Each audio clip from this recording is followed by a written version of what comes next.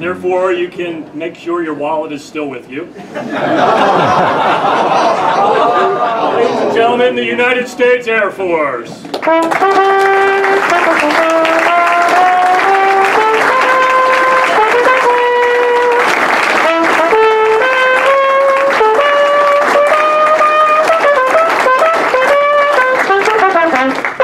And we have no Coast Guardsmen or Merchant Mariners.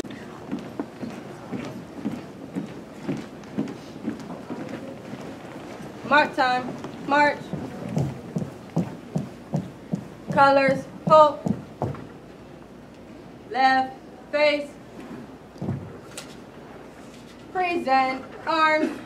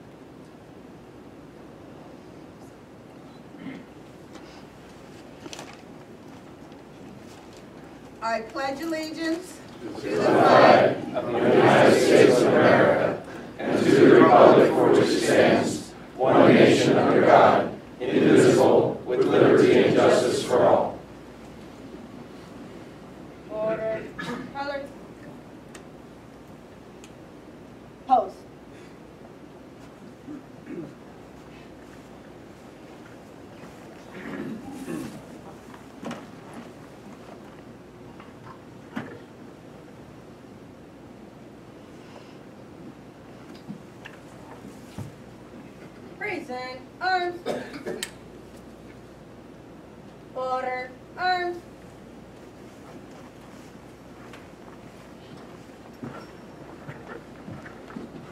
Right. Face. Forward. March. Our opening song today is Kate Smith. Uh, roughly a year or so ago, it was during the centennial, I had occasion to have lunch with uh, past President John Zimmerman. And we were at the time uh, talking about General Devers. And John shared with me, you know, he said, General Devers spoke to the Rotary Club when I was the president. And I was very excited to learn this, and as is my custom, I immediately attempted, without follow-up investigation of any kind, to plan to use said audio for a Veterans Day program. Took some time, took some coaxing, convincing, and cajoling, but the program committee apprehensively was agreeable to my plan, but there was one problem. No one knew where said recording might be. I, of course, went straight to Bert, who laughed and said, yeah, I know exactly where an audio recording from 1974 is. I then did some asking at the uh, York County uh, History Center and uh, also got a distinct level of perplexity. But uh, happily, uh, Joe Mummert and uh, June Lloyd recommended to me, ask Rich Robinson. He knows more about what we have on General Devers than we know. And so a very bad pun would be the rest, as they say, is history. But in any case, I'm off the hook, and we have a wonderful speaker. Rich Robinson is, not surprisingly, a history major from Pace, as well as a master's in history from NYU. He is currently the uh, director of the Penmar organization, uh, was previously a member of this club, and was previously on the York Suburban School Board. Uh, Rich is uh, examining the papers of General Devers, and has been for several years, and is currently in the process of writing a book about the general from York Street, General Jacob L. Devers. So it's with great pleasure and anticipation that I invite Rich Robinson to speak to you.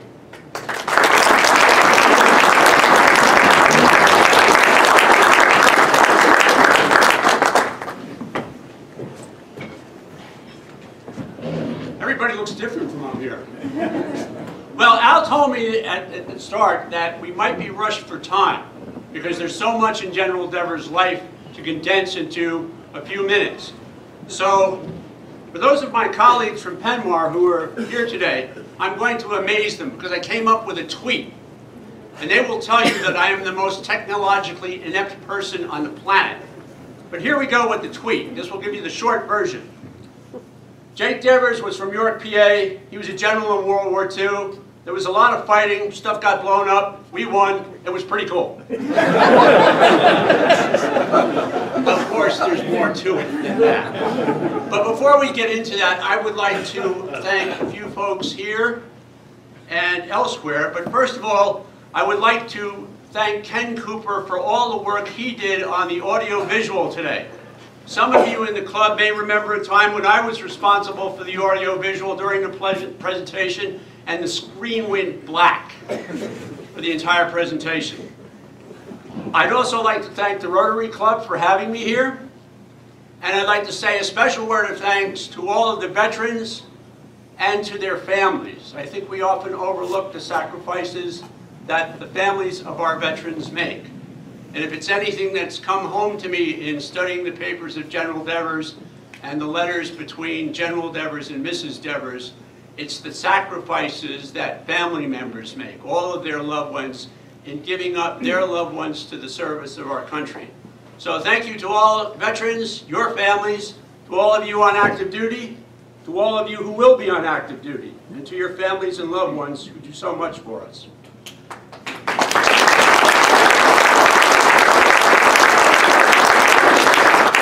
I'd also like to thank Joan Mummer and her incomparable colleagues at the York History Center. I don't want to mention any names, but their initials are Lila Foreman Shaw, June Lloyd, and Amanda Evler.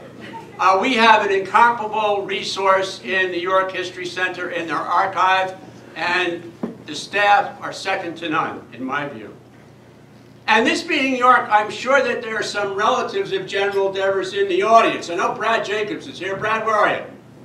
There, we have at least one. There are probably more. So, thank you for being relatives of General Devers. now, what I'd like to do I was there for him. What I would like to do is start off just briefly with a few words about the general, and then we're going to give you a short clip from the speech he made to the club in 1974 in just a moment. And we're also going to have a short film clip so that you can get an idea of what he looked like. Because he is one of these guys that is, is a shadow figure in history. Nobody really knows that much about him, and, they have to go looking for him. But Al actually asked me one time, why is Devers important? And I think the answer to that is pretty clear, especially in view of the national ordeal of the past 18 months that has just concluded. Some of us may be asking ourselves, are public figures always like this? And I would say the answer is no. And there is no better example of a true officer and gentleman than Jacob Devers. He was always gallant, always courteous, and always fair to colleagues with whom he served, even though many of those colleagues insulted him and slighted him both during and after the war. And Jacob Devers never responded in kind. He was always gracious and always gallant, especially in commenting on men like George S. Patton, a classmate of his at West Point, but more of that later. So if we may, Ken, let's start with the, the speech clip. This was in 1974. General Devers was 87 years old, and he's talking about his service as a young lieutenant in Wyoming. Ken? Every, everybody that's had the experience that you have, all you got to do is go out, live on your moral principles, get in the, the, the brains around there in a small group, find out what they're thinking, and then do it. Don't into a committee of 40 or 50 and have to listen for hours and the law and move the damn comments around in the paper that mean something that you didn't mean. Uh, you avoid all that. And I have a typical example in the disciplinary line that, uh, that I learned as a second lieutenant at Cheyenne, Wyoming. That's a rough country. we had plenty of Indians, and there's an Indian from Arizona here today, but we had plenty of Indians at our rodeos. And I used to race with polo ponies and blues out there with them in the frontier days. And uh, we had a, one fine theater in the Middle West, it was in Cheyenne. And all the good shows from Chicago would stop off of there on the Union Pacific before they went west. And all the young bucks from Fort uh. Russell would get down and take the young girls out before they were going west, and the, the train generally started late. Uh, which, uh, but uh, we, in, in those early days of my career, everybody drank too much. The officers drank too much, the enlisted men drank too much. And the drug today is liquor. I, I'm not a prohibition, I drink liquor, but you don't drink too much of it. And it was then. And on payday, we had expert horseshoers, we had expert mechanics, we had expert saddlers. Uh, we carried those trades in the Army. But on payday, uh, the morning after, there were very few people around. I don't mean in these skills, but I mean there to groom those mules. Now, I'm a second lieutenant, and those mules have to be groomed. So, um, customary, uh, to give them one day, and then they appointed the Jake Devers and a committee of three to go downtown and round up all these from 11th Infantry, the 9th Cavalry, which was colored. So we had that problem, and the 4th Mountain Artillery. And we were big and tall and rough. They're taller than me, obviously. But we were generally over six feet. Well, I've never been in those kind of houses.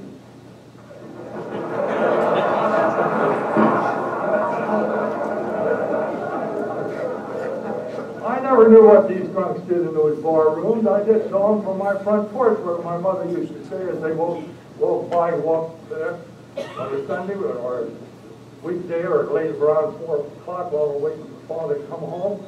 There'd be a couple staggering by there going west. And uh, um, uh, she'd, uh, they're smoking a cigarette and she'd say, there they go. Another nail in their coffin, another nail in their coffin, and boy, I never got rid of that nail in the coffin. It always comes up, and it's true. Well, uh, uh, so I, I was the smallest, and the people that generally didn't get this way, and I had some of my details were just about my height. So I used to say to those young fellows, now you get behind me, when they throw me out the door, just catch me. And then I scared to death, no doubt about it. I'm scared to death as I've ever been, even in battle. I know what's going on, but I never knew when I opened that door what was going to happen.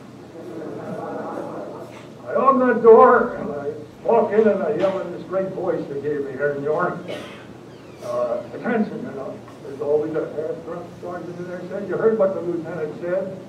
And he began to help me, and then I get other help. So we drag them out, pull them out with our arms, walk them out, take money out of their pocket, get them on the streetcars, or put them in a, a wagon and haul them home, and deliver, deliver them to their regiment.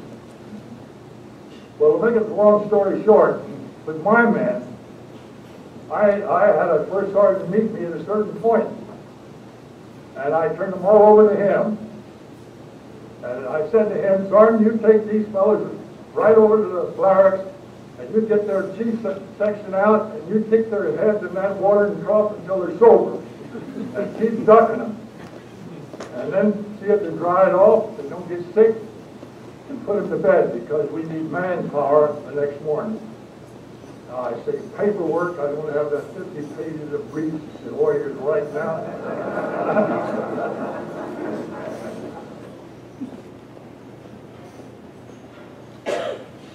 And that's who General Devers was, especially in commenting on how you handle your detail to get your men back into action. That characterized his conduct throughout his career. He was considered one of the best fast-action executives in the Army, and we'll go into that in a few minutes. What I'd also, what I'd like to do now is, is show you a short film clip from a film called Welcome to Britain. And this was filmed in 1943 by American and British film crews to help GIs learn a little bit more about the country where they were landing, England. Because the customs of the British and the customs of the Americans weren't quite in sync. You know what I mean? Yeah. I know this comes as news to you. So in that sense, you're going to see General Devers for just a few minutes, but what I want you to really watch is his face, especially if you've seen the movie Patton. Ken, can we have the clip?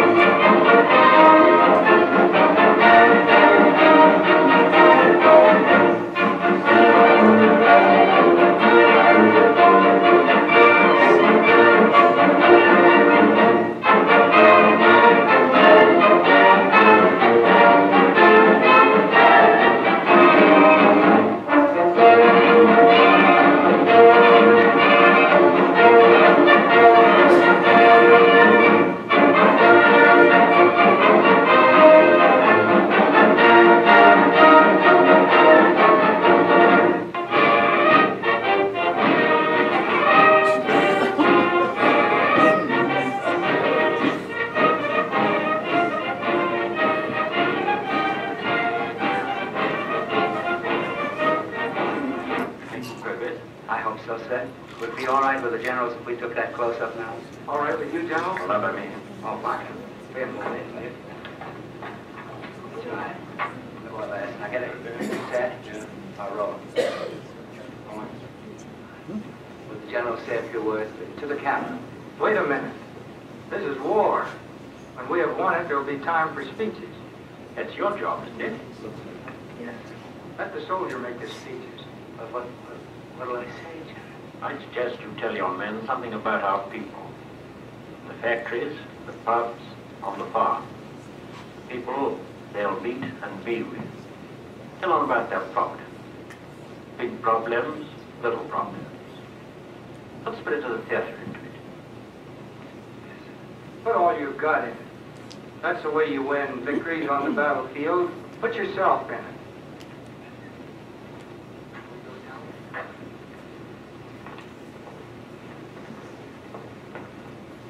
Well, just the guy to show you around England.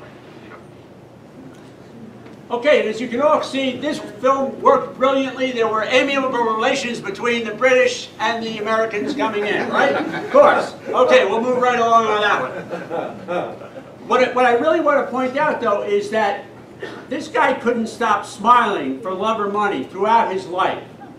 He actually got demerits at West Point for smiling on the drill field. His drill instructor always thought he was laughing at him. And, and Devers was always noted for his smirk and his grin. But now let's go back to York in the 1880s. Let's go back to York. In the 1880s, around the time Jacob Devers was born, this is what the town looked like. He knew it briefly. But you know, in the old days, biographers always used to write about momentous events when great men were born. A comet would cross the sky. There'd be a total eclipse of the sun or tidal waves. Here's what happened in and around York on September 8th, 1887, when Jacob Devers was born. Mr. Felix Bensel reported that persons or persons unknown raided his spring house of butter and sausages, besides upsetting things generally. A prized Alderney cow belonging to State Senator Gerard Brown of Yorkana returned home after being absent for several days, missing part of its tail. Foul play was suspected until the culprit was identified as a briar bush. Now clearly from those signs we learn that General Devers was obviously destined for a brilliant military career. Now the town was changing. This is what York looked like 18 years later when he left for West Point. It was a time of tremendous growth and influenced him greatly as a youth. Because throughout his life, he always felt of his growing up in York, that if you gave people a decent place to live, a good job, and enough to feed their families and clothe their families, that was proof against any kind of totalitarianism.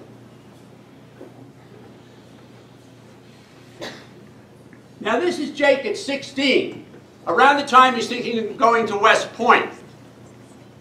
But his school career almost came to an abrupt end when he entered with a bunch of friends from Garfield School. He entered York High the first day and was summarily thrown out by Professor McLaury. And he and his friends went over to the Soldiers and Sailors Monument to talk things over, wondering what they were going to do, telling their folks that they were thrown out of high school before the first period began. They delegated Jake Devers to go back and beg Professor McLaury to let them back in. And he did. Although he may later have lamented this decision because this group was strongly suspected of releasing a flock of pigeons in the school auditorium during an exercise. now, incidentally, Jake Devers' father, Philip, raised pigeons on West York Avenue. I make no inferences there. But at 16, Jake Devers was worried about one thing and one thing particularly. He didn't think he spoke very well. He didn't think he communicated well. Which is ironic because he was elected president of the Debating Society. But throughout his life, he always doubted his ability to communicate. And I think this influenced a lot of people who knew him later in life and disliked him because they thought through his manner of communication he wasn't very smart. And he knew this, and it bothered him all his life. He, as an old man, he actually said one time, it's always bothered me, and it does to this day, that I have a very defeatist complex with reference to English. I advise everybody to concentrate on that. And he always felt it very deeply. Now, he went to West Point in 1905. Okay, I'm going the wrong way. But running up to the appointment, there was another problem brewing. Because Jake, Jake Devers' father was not a Republican. He was a Democrat in New York City. And when appointments were being made, Congressman Dan Lafean was looking for a likely candidate and did not pick Jake Devers first. He picked a young man named David Long. David Long's father was a minister and told his son he didn't raise him to be a soldier and asked him to turn the appointment down. And David Long did. Well, this sent Dan Lafean into orbit because none of his appointments had ever done very well at West Point.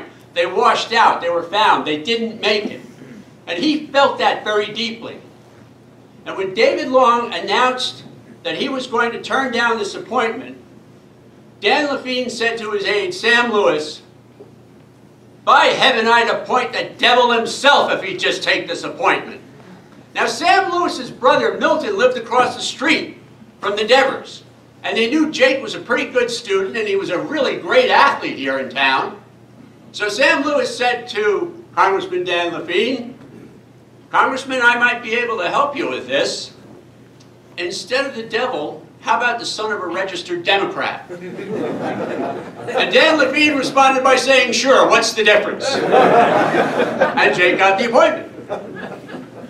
He went to West Point in 1905, graduated in 1909, 39th in his class. Several places ahead of his classmate, George S. Patton. Patton was always very conscious of this fact. He was a very competitive guy.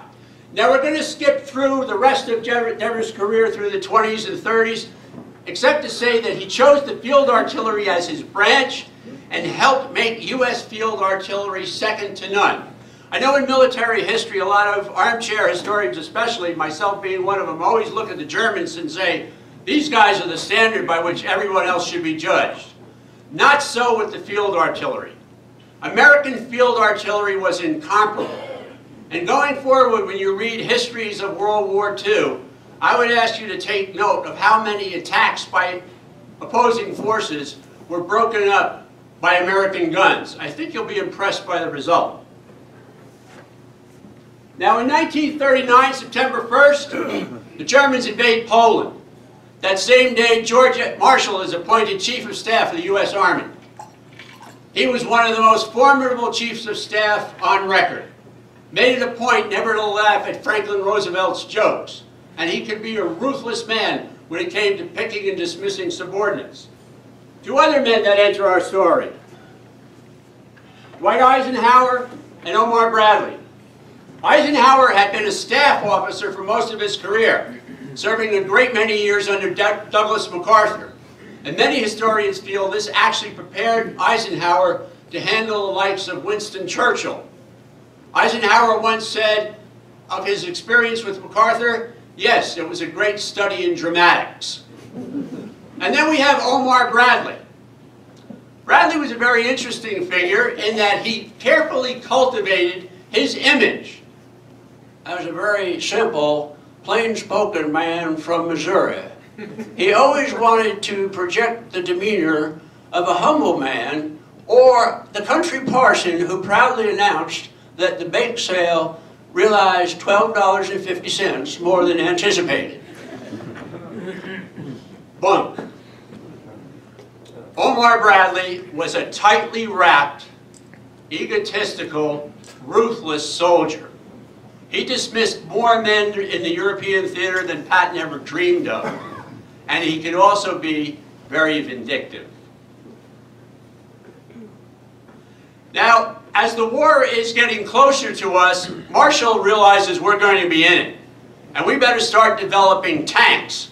Because when he took over as chief of staff, the U.S. Army did not have one credible tank division to take the field. As a matter of fact, we really didn't have any credible tanks. He appointed a man named Ed, Ed Adna Chaffee to get this program going. But Adna Chaffee was dying of brain cancer, and this program was going nowhere fast. He sent Jake Devers down to look it over and see what was going on. Devers came back and gave his report, told him why things were going nowhere fast. Marshall thought it over. Now everybody in the Army thought George Patton was going to get it. He was a cavalryman, and he felt that tanks should be horses with bogey wheels. The infantry, on the other hand, thought tanks should be moving machine gun nests. Much to everyone's surprise, George Marshall picked Jake Devers, a gunner, to oversee tank development in the United States. And he did an outstanding job and put tanks in the field faster than anybody thought imaginable. He did it in the space of two years. The British were having trouble getting a credible tank in the field in far more time than that. One of the reasons he was able to do that is his superior officer was a man named Lesley McNair, and they had served together in the 4th Mountain Artillery when they were young lieutenants. And as I said, Devers developed the Sherman tank. He also developed self-propelled artillery so that the guns could move with the tanks. And he was the driving force behind the DUKW, which was a supply vehicle that probably influenced more tight spots than any other truck or cargo ship of record. Now he went to North Africa in 1943 to find out what was going on, learned from the British that they loved the Sherman tank. And as he came back, his plane crashed in Ireland. Now, the German ambassador to Ireland was oddly enough on his way to check on his spies on the west coast, I suppose, and saw what was going on. And the German embassy got a cable from Berlin to ask what had happened, and wrote back that Devers had actually escaped to England. The Germans were very upset by that because by that time in 1943 they recognized him as one of the foremost tank experts in the American Army. But in 1943 he was pulled from tank development and sent to England at a time when the Americans and the British were arguing bitterly over the direction of the war. Field Marshal Sir Alan Brooke and Winston Churchill wanted us to attack Italy, the soft underbellies, underbelly so-called. The Americans were holding firm for the cross-channel invasion. And Devers was sent there at a time when there were very few Americans to really defend the American position. And the Italian invasion went forward.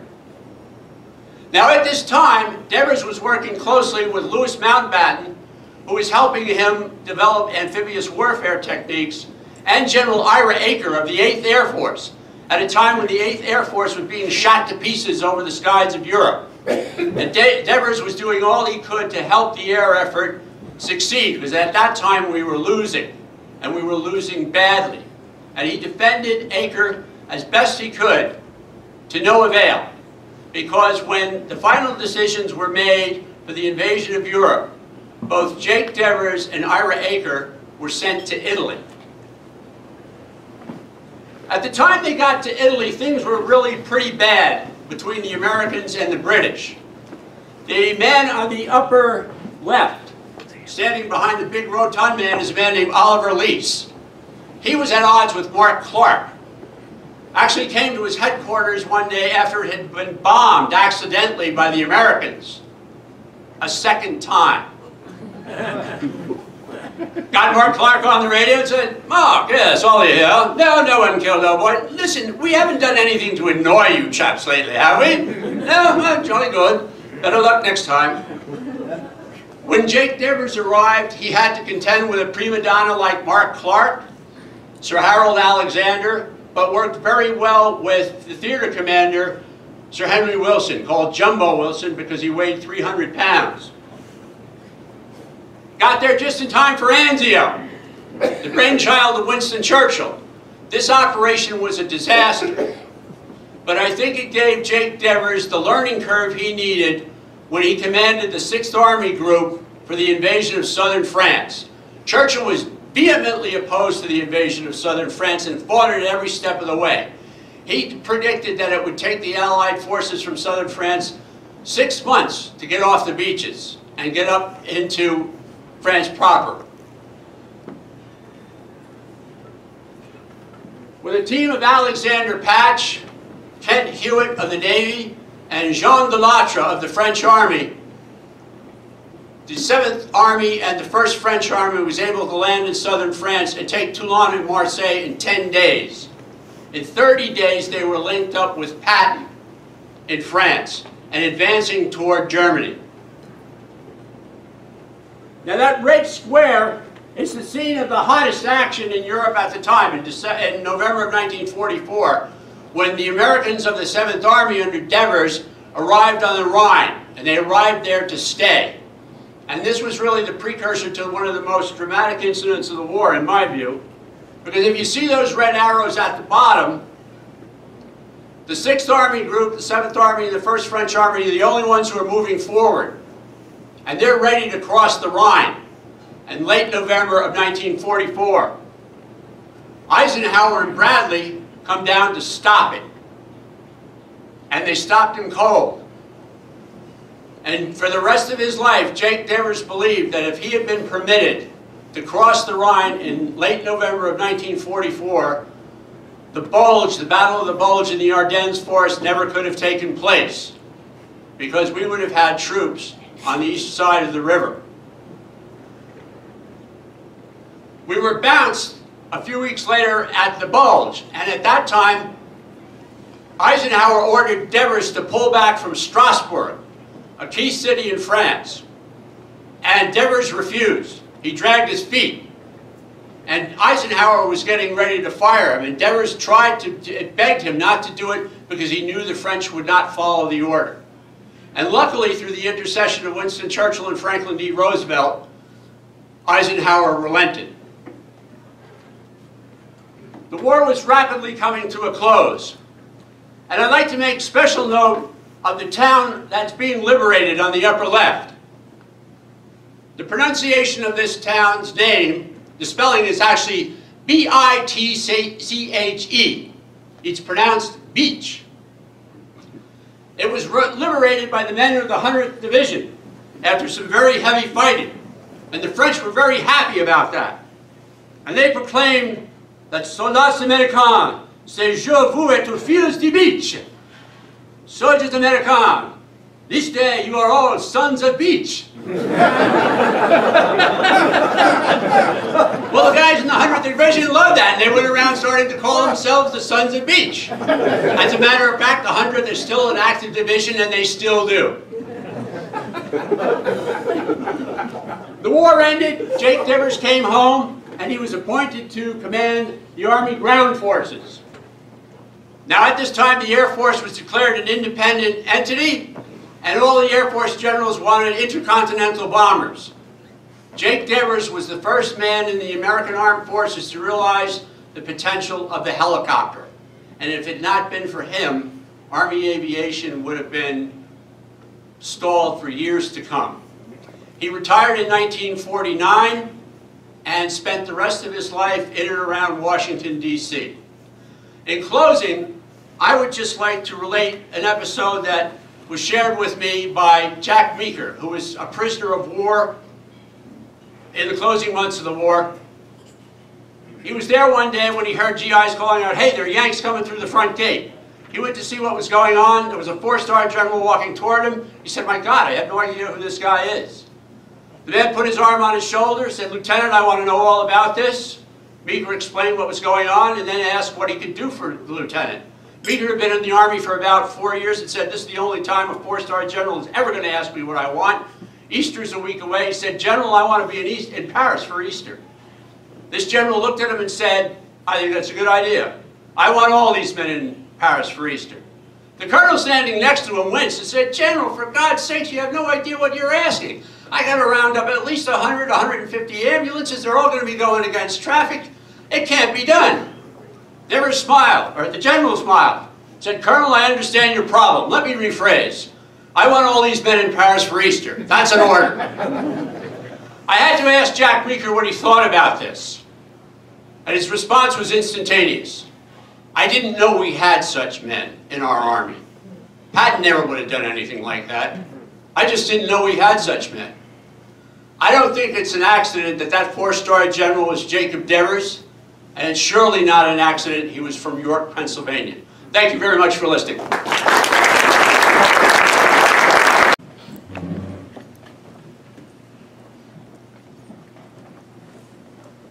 Mark time. March. Colors. Pull. Right. Face. Present. Arms. Order. Arms. Post.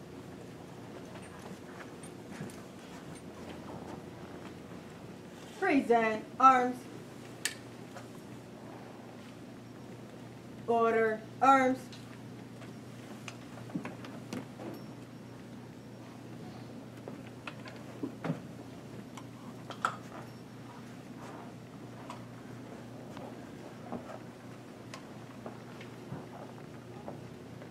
right face, forward march.